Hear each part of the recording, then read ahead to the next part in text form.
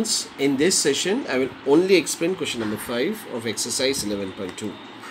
Now, in question number 5, a figure is given which is a parallelogram. Okay, and the name of the parallelogram is PQRS. Now, inside the parallelogram, if you carefully observe, there are two heights are given. The first height is QM and the another height is QN. Fine the measurement of QM is given 7.6 centimeter and this QM is perpendicular on which side that is SR. So I've explained earlier also that if you see height inside the parallelogram so you have to really see the height is falling on which particular line segment fine so QM is falling on SR so if this is height then this would be base so the first thing they're asking to find out is what area of parallelogram PQRS. So it's very easy.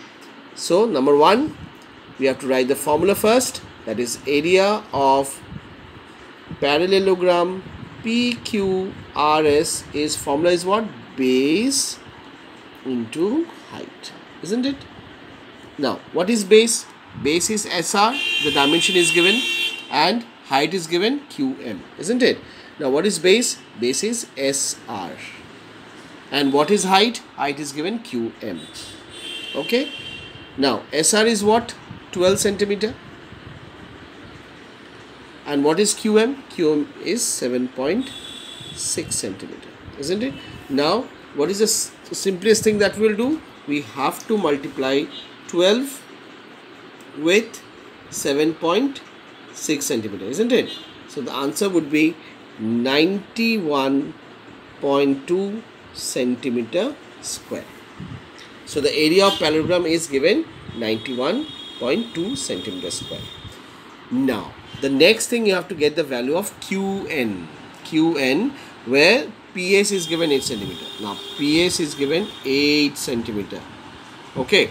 Now if you consider this as a height then you have to consider PS as base as because you know you have to see that which one is a height and height is falling on which side which line segment okay so QM was falling on SR so we have taken SR as base and this as height. But this time now height is changing now. Now height is changed as QN now QN is falling on which line segment? That is PS isn't it? So height is falling on this. So we'll consider this PS as base height as QN and already we know the value of what? Area of parallelogram. Now what are the things given now in the second case area we know area is what? 91.2 isn't it? Now area is known to us. Now base I already said base. Base is what? Base is considered as PS that is it is said as 8 centimeter isn't it? Now what you have to find it out? We have to find out height. Now height is what? Height is qn isn't it? So qn is you have to get the value.